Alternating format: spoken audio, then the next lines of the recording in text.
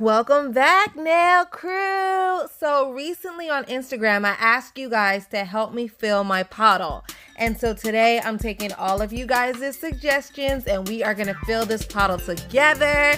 So, keep watching so you can see what fun things we come up with.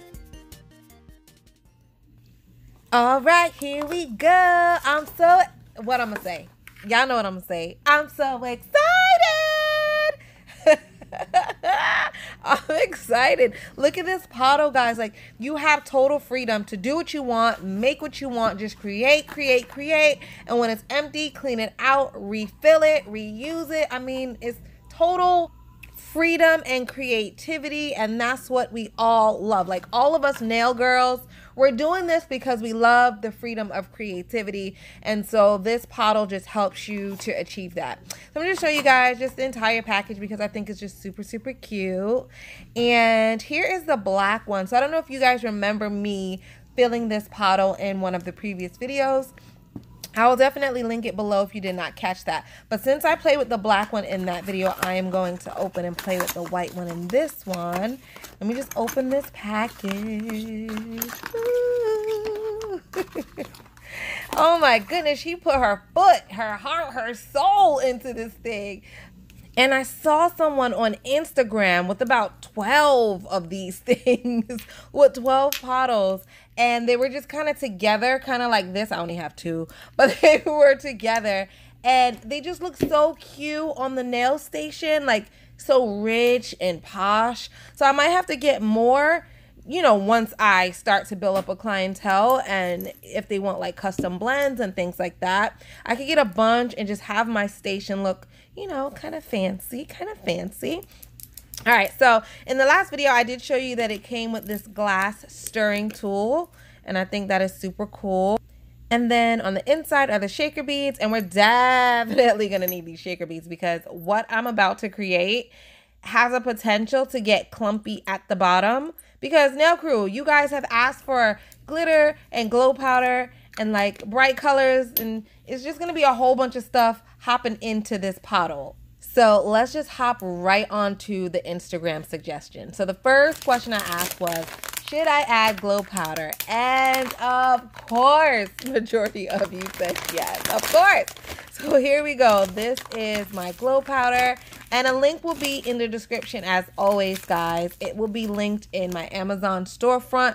Click the storefront, go to the nail art section okay so these will be in the nail art section and what i'm showing you here is that it says sky blue but clearly it's white. And then this one says blue green so i don't know maybe when it glows it glows those colors but clearly it's not showing those colors now. So i find that quite odd quite quite odd. And then here in this little container these are just some that i had previously opened and obviously I didn't want them to spill all over the place so I just store them in this little container so these are all the colors that we have to work with guys these are all the colors we have to work with I don't want to pick the pink or the orange because I've used them before and I'm kind of leaning towards this green for some reason. It's just caught my eye and I just feel like that's what we need to do today. So I'm just going to clean everything up and now I have to find some green polish to match with my green glow powder. So luckily for me, I have some bright green because 59% of you want to see something bright. So here we go.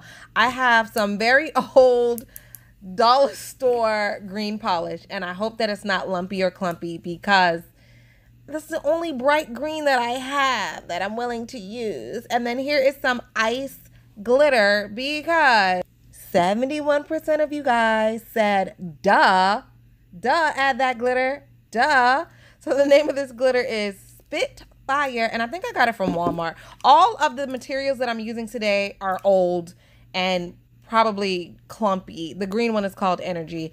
Um, we're just gonna see what happens. And I might as well show you guys the green up close. I'm like showing you guys everything else. So here is what I'm going to use. I know that glitter is good because I've used that recently. The green, I don't know, but it only costs a dollar, so mm, we'll see. And then I have some unicorn glitter I also got from the dollar store for one dollar. So I'm going to mix it and make like, you know, my own special glitter blend.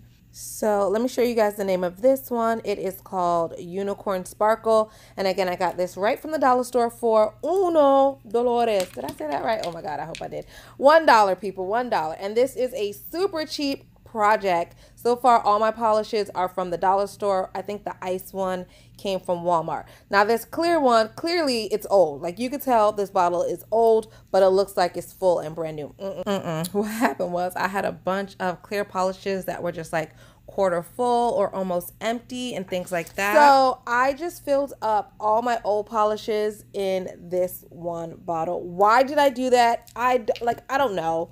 I don't know, but I did. It was a long time ago. Let's just not even dwell on the past, okay? So I'm just going to go ahead and fill up my bottle with 13 different clear polishes because that's what's in that bottle. And let's go now in with the glitter and there's no special formula, people. You just got to eyeball it. You know, when you're cooking, you don't really measure out all the seasoning. You just throw it in the pot. So that's what we're doing. Throw it in the bottle and let's just see what happens. you can't really mess it up. You can't mess it up. You know what I'm saying? Especially using old stuff. Like if you really jack this up, like let's think about it. If you jacked it up, dollar store polishes, you won't really cry. You know what I mean? So, hey, that's what we're doing. We're just experimenting. And so far it looks really good. It looks it looks green, it looks bright and there's glitter like you guys requested. So now let's go in with the glow powder. I don't know how much to put. I don't know if this is enough or what, but we'll see. Cross your fingers right now, right now that it's going to glow in the end because if it doesn't glow in the end, then I don't know. I'm gonna be sad. I'm gonna be sad. Just we, if it doesn't glow at the end, then you won't be watching this video. So let me just tell you that now. If it glows, that means you're watching the video. Period. All right, so let's put those shaker beads to work and let's shake, shake, shake, shake, shake, shake. And hopefully some magic is happening in the bottle. And let's look, let's look. I mean, it looks like regular polish. What I don't want is like a jelly polish. I want it to be opaque. I do not want to see through this polish. So I'm going to test it on Nala. And if it's not opaque enough for me, uh, we're just going to have to figure something out, nail crew. We're just going to have to figure something out. So let me know what you guys think. Is this too translucent? Yeah.